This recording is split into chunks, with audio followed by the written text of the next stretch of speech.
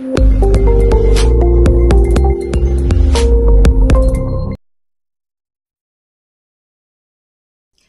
everyone greetings from doctor Rashmi homeopathy एक question जो repeatedly parents द्वारा पूछा जाता है कि क्या ऑटिज़म पूरी तरह से ठीक हो सकता है? तो ऑटिज़म एक तरह से अगर कही जाए तो एक मॉडर्न बीमारी है। या, ये बीमारी एग्जिस्ट तो पहले भी कर रही थी, लेकिन अब जागरूकता इसके बारे में इतनी ज़्यादा हो गई है कि पेशेंट्स के जो सिम्टम्स होते हैं इमीडिएटली पकड़ में आ जाते हैं। पेरेंट्स बहुत समय वेस्ट किए बिना कंसल्ट करते हैं साइकोलॉजिस्ट से कंसल्ट करते हैं, बहुत लोग साइकेट्रिस्ट के पास जाते हैं, बहुत लोग होम्योपैथ्स के पास जाते हैं। सवाल सबका यही रहता है कि क्या ये बीमारी पूरी तरह से ठीक हो सकती है?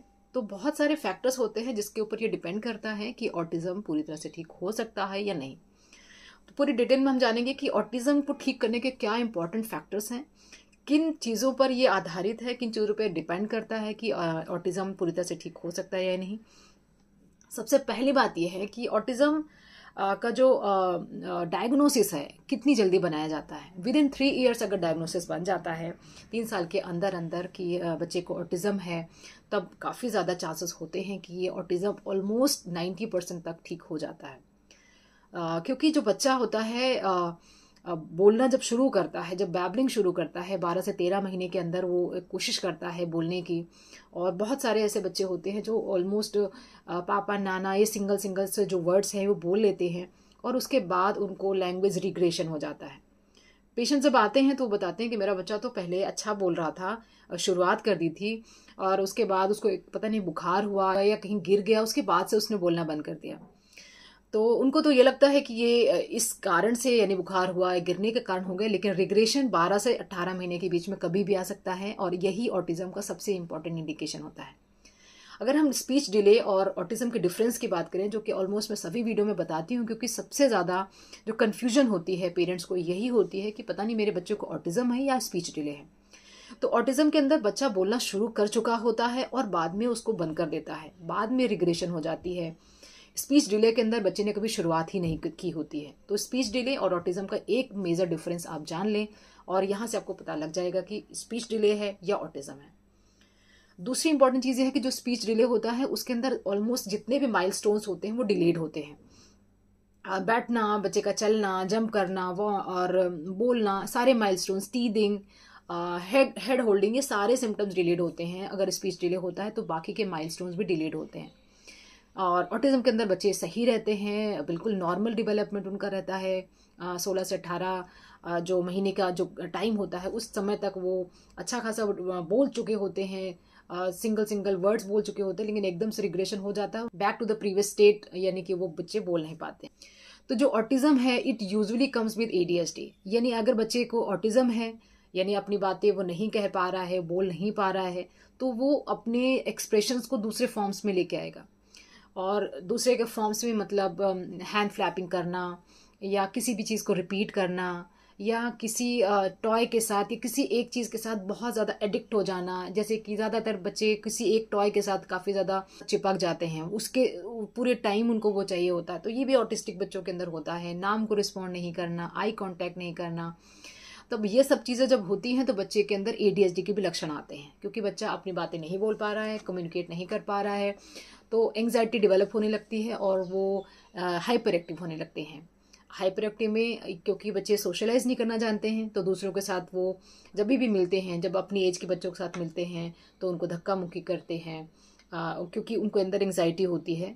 ऐसा नहीं कि उनका बिहेवियर वायलेंट होता है it they are just expressing their anxiety तो हेड बैंग कर लेते हैं, मम्मी के बाल खींचना या इस सारे सिम्टम्स बच्चे के अंदर आते हैं। तो ये भी सारे सिम्टम्स अगर बच्चे के अंदर ऑटिज्म है तो एडीएसडी भी आता है और ये भी एक हिंड्रेंस बनता है ट्रीटमेंट में। एक और इंपॉर्टेंट चीज़ जो ध्यान में रखनी है कि जिनको भी ऑटिज़म होता है जिन बच्चों को ऑटिज़म होता है, उनकी जितनी जल्दी स्पीच थेरेपी और ऑक्यूपेशनल थेरेपी स्टार्ट हो जाए अलॉन्ग विद द ट्रीटमेंट वो बहुत अच्छा रहता है। बहुत से लोग ऐसे हैं जो ऐसे एरियाज़ में रहते हैं जिनको ये फैसिलिटीज़ अवेलेबल नहीं हो पाती हैं। सेंटर्स काफ़ी दूर होते हैं या अफोर्ड नहीं कर सकते हैं तो उनके लिए दूसरे ऑप्शंस भी अवेलेबल होते हैं। वो स्पीच थेरेपी तो बहुत हद तक मदर्स भी करा करा लेती हैं। ऑक्यूपेशनल थेरेपी में जैसे कि सिखाया जाता है बच्चों को छोटी छोटी चीज़ें कैसे करनी है। जैसे ब्रशिंग कैसे करनी है या होल्डिंग कैसे करनी है? बहुत सारी छोटी छोटी चीज़ें जो बच्चे को नहीं पता होती हैं, वो सारी ऑक्यूपेशन थेरेपी में कराई जाती हैं। स्पीच थेरेपी में आपके जो टंग है, उसका आर्टिकुलेशन कैसे होता है, और सिंपल सिंपल तो मदर्स भी इसको बहुत हद तक करा सकती हैं। आजकल वीडियोस भी अवेलेबल हैं, स्पीच थेरेपी कैसे करानी है तो मदर्स भी करा सकती हैं। तो अगर आप अपने बच्चे को ट्रीटमेंट के साथ में ये थेरेपीज़ दे रहे हैं ऑल दो ये थेरेपीज़ काफ़ी लॉन्ग चलती हैं, तभी भी काफ़ी अच्छे चांसेस होते हैं कि ऑटिज़म पूरी तरह से ठीक हो सकता है। नेक्स्ट है अगर फैमिली में कोई भी और दूसरी साइकोलॉजिकल uh, इश्यूज़ हैं पेरेंट्स के अंदर कोई एंग्जाइटी uh, है या पेरेंट्स के अंदर एडीएसडी है या uh, कोई भी ऐसी जो जेनेटिक इश्यूज़ हैं जिसमें uh, रहता ही है कि कोई भी मेंटल uh, इश्यूज़ पहले रहे हैं तब कम चांसेस हो जाते हैं कि ऑटिज़म ठीक हो सकता है। एक और इंपॉर्टेंट चीज़ ये है ऑटिज़म ठीक करने का ऑटिज़म को काफ़ी हद तक कंट्रोल करने का कि फैमिली का एनवायरनमेंट कैसा है। अगर घर का माहौल अच्छा है जो पेरेंट्स हैं, उनकी आपस की जो अंडरस्टैंडिंग है, वो बहुत अच्छी है। बच्चे के हमेशा पॉजिटिव घर में रहता है पॉजिटिव एनवायरनमेंट रहता है, तभी भी काफ़ी ज़्यादा चांसेस होते हैं कि ऑटिज़म ठीक हो सकता है। ऑटिज़म में बच्चे को बोलने के लिए हेल्प करने के लिए एक बहुत इंपॉर्टेंट चीज़ ये है कि जो भी भी बच्चे को ये इश्यूज़ होते हैं तो बहुत सारे ऐसे फैमिलीज़ होते हैं जिसमें बाई लिंगुअल लोग होते हैं। कोई मराठी बोल रहा है तो कोई गुजराती बोल रहा है तो कोई हिंदी बोल रहा है तो कोई इंग्लिश बोल रहा है। कई बार ऐसी फैमिलीज़ के सेटअप्स होते हैं जहाँ पे दो दो लैंग्वेज एक साथ बोली जाती हैं। तो जिन घरों में ऑटिस्टिक बच्चे हैं, उनके घर में कोशिश यही की जाए कि कम से कम एक ही लैंग्वेज बोली जाए, क्योंकि बच्चा काफ़ी कंफ्यूज हो जाता है। जिन वर्ड्स को पिक करना होता है तो एक सिंगल लैंग्वेज से उनकी बच्चों की जो लैंग्वेज डेवलपमेंट है, वो ज़्यादा अच्छी होती है। बाद में जब बच्चे को एक प्राइमरी लैंग्वेज एक मदर लैंग्वेज आ जाए, तब आप दूसरी लैंग्वेज में भी उसको डाल सकते हैं। तो किसी भी बात को पिक करने के लिए ज़रूरी है कि वो एक ही लैंग्वेज घर पे बोली जाए। जो भी लैंग्वेज आपकी है पेरेंट्स को या ग्रैंड पेरेंट्स को तो यही लैंग्वेज बोली जाएगी अक्सर ऐसा देखा जाता है कि जो ग्रैंड पेरेंट्स है, वो अपनी मदर टंग बोल रहे हैं पेरेंट्स जो हैं, वो इंग्लिश में बात कर रहे हैं और बच्चा कन्फ्यूज़ हो जाता है तो कोई भी वर्ड्स वो नहीं पिक कर पाता है। इसके अलावा ऑटिज़म के लिए एक बहुत इंपॉर्टेंट टिप है जो आपको ध्यान में रखना है कि जब भी आप लेटते हैं तो एक पावर टाइम होता है बच्चे का। जब बच्चा सो के उठता है, तब बहुत इंपॉर्टेंट टाइम होता है। बच्चा जब सोने के लिए लेटता है, तब एक बहुत इंपॉर्टेंट टाइम होता है। जिस समय पेरेंट्स की अवेलेबिलिटी बहुत ज़्यादा ज़रूरी है। क्योंकि पेरेंट्स काफ़ी ज़्यादा बिज़ी होते हैं तो आजकल ऐसा देखा जाता है कि पेरेंट्स ने बच्चों को खिला पिला दिया और लिटा दिया कि भाई अब सो जाएगा। लेकिन जब आप बच्चे को लिटा रहे हैं, तब बच्चे को साथ में लिटा करके सिर्फ़ गाने चला देना या लोरी चला देना या आप थपकी दे रहे हैं, उनसे नहीं, बल्कि बच्चे के साथ उस समय कम्युनिकेट करना है। ऑल दो नाइन्टी परसेंट आप कम्युनिकेट कर रहे होंगे, सिर्फ़ दस परसेंट बच्चा या उससे भी कम कम्युनिकेट करेगा। लेकिन ये बहुत इंपॉर्टेंट समय होता है। इसी समय आपसे वो कग्निशन उसका डेवलप होगा। वो अपने इनर थॉट्स में जाएगा, आपके जो वर्ड्स हैं उनको पिक करेगा और एक बहुत इंपॉर्टेंट बॉन्ड होता है जो बनता है। और ऑटिस्टिक बच्चों के लिए ये जो रात के दस मिनट होते हैं, जब आप सुलाने के लिए लेटते हैं बहुत क्रूशियल होते हैं। तो ज़रूर ध्यान दें कि अपने बच्चों को कोई भी स्टोरी टेलिंग या कोई भी रूटीन डिस्कशन जो भी बच्चे ने किया हो पूरे दिन, क्या अच्छा लगा, क्या नहीं अच्छा लगा for the whole day what is the planning for the next day ये सारी चीज़ें आप बच्चे के साथ डिस्कस कर सकते हैं। ऑटिज़म ठीक होगा या नहीं होगा, एक और बात पे डिपेंड करता है कि बच्चे का डाइट क्या है। बच्चे की स्लीप साइकिल क्या है? तो बच्चे की डाइट में शुगर को एक्सक्लूड कर देना है, पूरी तरह से स्पेशली द वाइट शुगर इसको पूरी तरह से ख़त्म कर देना है, क्योंकि ये आपके बच्चे की जो एनर्जी है, उसको भी बढ़ा के रखता है। बच्चा हमेशा हाइपर ही रहता है, कुछ सुनने को तैयार नहीं होता है तो शुगर को कट डाउन कर देना है। फ्रूट शुगर पूरी तरह से अलाउड है शुगर के ऑल्टरनेटिव जैसे डेट्स है, यानी खजूर है हनी है, इन सब चीज़ों को, या गुड़ है, इन सब चीज़ों को ऐड कर सकते हैं। वाइट शुगर की चीज़ें नहीं देनी है। ऑल्सो द पैकेज्ड फ़ूड जो होते हैं, जो चिप्स है, या जिनमें पाम ऑयल का कंटेंट रहता है बेकरीज है, इनको टोटली अवॉइड कर दें। और एक और इंपॉर्टेंट चीज़ है कि sleep cycle is very important ऐसा देखा जाता है कि जो बच्चे ऑटिस्टिक होते हैं उनका जो स्लीप साइकिल होता है, बहुत डिस्टर्ब होता है। हमारे पास ऐसे भी केसेस आते हैं जिसमें बच्चा सुबह के चार बजे तक खेलता है, उसके बाद सोता है। पेरेंट्स भी बहुत परेशान होते हैं क्योंकि वो उस साइकिल को मेंटेन नहीं कर पा रहे हैं मैनेज नहीं कर पा रहे हैं। तो जब तक बच्चे का साइकिल नहीं है, सही होता है, तब तक ऑटिज्म का ठीक होने का बहुत पॉसिबिलिटी नहीं है। तो sleep cycle should be very important and should be taken care for तो बच्चे का सोने का साइकिल, उठने का साइकिल, एक बायोलॉजिकल जो रिदम होता है बायोलॉजिकल क्लॉक होता है, उसके अकॉर्डिंग ही होना चाहिए। तो ये सारे जो फैक्टर्स हैं, इनका ध्यान रखना है and also the very important thing जो गैजेट टाइम है या जो स्क्रीन टाइम है that has to be reduced बच्चे को बाहर लेके जाना और जो चीज़ों को एक्सप्लोर करने देना इज़ वेरी इंपॉर्टेंट एक थोड़ी सी डिस्टेंस से आप बैठ करके बच्चे को पार्क में लेके गए हैं, वहाँ पे थोड़ा उसको एक्सप्लोर करने दें। ऑल दो बच्चा दूसरों के साथ नहीं मिक्सअप होता है लेकिन थोड़ी देर आप बैठ के उनको पाँच सात मिनट टाइम दे के उनके साथ खेलने की कोशिश करें।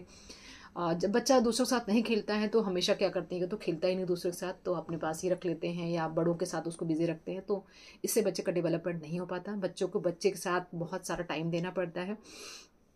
तभी वो सोशलाइज करना सीखेंगे, तभी वो अपने बच्चों से वो सीखेंगे कि उनको, वो दूसरे बच्चे क्या कर रहे हैं और उनको कॉपी करने की कोशिश करेंगे। बड़ों की ऐसी कोई भी चीज़ नहीं है जिसको वो लिख करके कॉपी करें या उनके लायक कोई चीज़ नहीं होती। तो बच्चे बड़ों के बीच में नहीं, छोटे के बीच में ज़्यादा सीखते हैं तो उनको ज़्यादा कोशिश करें और उनको टर्न सिखाएँ, क्योंकि जो ऑटिस्टिक बच्चे होते हैं, उनको सो सोशल जो नॉर्म्स होते हैं, वो नहीं पता है कि इसका टर्न है तो उसके बाद मेरा टर्न आएगा। वो एकदम एब्रप्टली किसी भी चीज़ के लिए लड़ जाते हैं या दूसरे बच्चों को धक्का दे देते हैं। तो ये सारी चीज़ें आप जब सिखाते सिखाते उनको ट्रेन करेंगे, तब ये सोशलाइज होना शुरू हो जाएँगे और उतने ज़्यादा हाइपर एक्टिव या टैंट्रम्स नहीं थ्रो करेंगे। तो ये सारे फैक्टर्स को अगर हम ध्यान में रखते हैं तो ऑटिज़म बहुत हद तक ठीक हो सकता है। और होम्योपैथिक मेडिसिन की अगर मैं बात करूँ these are very very safe alternative for the treatment in autism हमारे पास रेगुलरली बहुत सारे पेशेंट्स हैं जो ट्रीटमेंट लेते हैं और साथ के साथ साइकोथेरेपी या साइकोलॉजिकल काउंसलिंग होती है, वो करवाते हैं। तो ऑटिज़म पूरी तरह से मैनेजेबल है, पूरी तरह से ठीक हो सकता है और सिर्फ़ ज़रूरत है इन्हीं बातों को ध्यान में रखने की जो हमने इस वीडियो में भी डिस्कस किया है। और homeopathic medicine are very safe और अगर थोड़ा लंबा ट्रीटमेंट चलता है ऑल जो ऑटिज़म होता है, इसका ट्रीटमेंट लंबा ही चलता है, एक से लेकर तीन साल तक का टाइम है डिपेंडिंग अपॉन कि बच्चे को सिम्टम्स कितने हैं बच्चे की एज कितनी है, कितनी एज में डायग्नोसिस हुआ है, उस हिसाब से इसका ट्रीटमेंट चलता है। बहुत सी इंपॉर्टेंट दवाइयाँ हैं जो specifically patient to patient vary करती हैं। वही बात मैं दोबारा रिपीट करना चाहूँगी कि ऑटिज़म की ट्रीटमेंट के लिए होम्योपैथी में कॉन्स्टिट्यूशन ट्रीटमेंट होता है। बच्चा हर बच्चे से अलग होता है, हर बच्चे के सिम्टम्स ऑटिज़म में अलग आ रहे हैं। सकता है बच्चे को अंदर सिर्फ़ ऑटिज़म के सिम्टम्स हो हाइपर एक्टिव नहीं हो। हो सकता है कि बच्चे के जो कुछ बच्चे होते हैं जो डरते बहुत हैं, कुछ बच्चे होते हैं जो डरते नहीं हैं, कुछ बच्चे हैं जो रात में ज़्यादा एक्टिव रहते हैं, दिन में सोते हैं तो हर बच्चे के सिम्टम्स अलग होते हैं। पूरी केस हिस्ट्री हमें लेनी पड़ती है, पूरे डिटेल्स पेरेंट्स के साथ हमें लेना पड़ता है इवन उसके बर्थ हिस्ट्री लेनी पड़ती है। इवन ये भी पूछना पड़ता है कि क्या बच्चे का जो बर्थ क्राइड था, वो डिलीट था या नहीं था माइल कैसे थे, और बाकी के जो डेवलपमेंट्स थे, वो लाइफ में कैसे रहे उसके अभी तक के। तो ये सारी चीज़ें डिटेल में लेने के बाद एक स्पेसिफिक दवा निकाली जाती है और लंबे समय तक उसका ट्रीटमेंट चलता है। बच्चा पूरी तरह से नॉर्मल हो जाता है और इस पर कोई भी सिम्टम्स कोई भी स्ट्रेन्स नहीं बचते हैं, अगर पूरी तरह से इसका कोर्स पूरा किया जाए। तो homeopathic medicine are very safe and very effective the treatment of autism सबसे ज़रूरी है कि जल्दी से जल्दी इसका डायग्नोसिस हो पाए। तो ये सारी जो इन्फॉर्मेशन थी, ये ऑटिज़म के बारे में थी और क्या फैक्टर्स डिसाइड करते हैं कि ऑटिज़म पूरी तरह से ठीक हो सकता है या नहीं। तो आई होप ये इन्फॉर्मेशन आपको पसंद आई होगी। अगर आप मेरे ट्रीटमेंट लेना चाहते हैं या ट्रीटमेंट से पहले कोई भी बात, कोई भी क्वेरीज पूछना चाहते हैं तो कॉलमी फायर आपका यूज़ कर सकते हैं, जिसकी बाकी की डिटेल्स आपको डिस्क्रिप्शन में मिल जाएँगी। अगर आप मेरे साथ जूम या फ़ोन कंसल्टेशन करके अपने केस को डिस्कस करना चाहते हैं, अपना ट्रीटमेंट स्टार्ट करना चाहते हैं तो WhatsApp number seven zero one seven double nine one nine four zero पर व्हाट्सएप करके अपना स्लॉट बुक कर सकते हैं और अपना पूरा केस डिस्कस कर सकते हैं। साथ में होम्योपैथिक मेडिसिन या प्रिस्क्रिप्शन भी पा सकते हैं। Wishing a very good health thanks for watching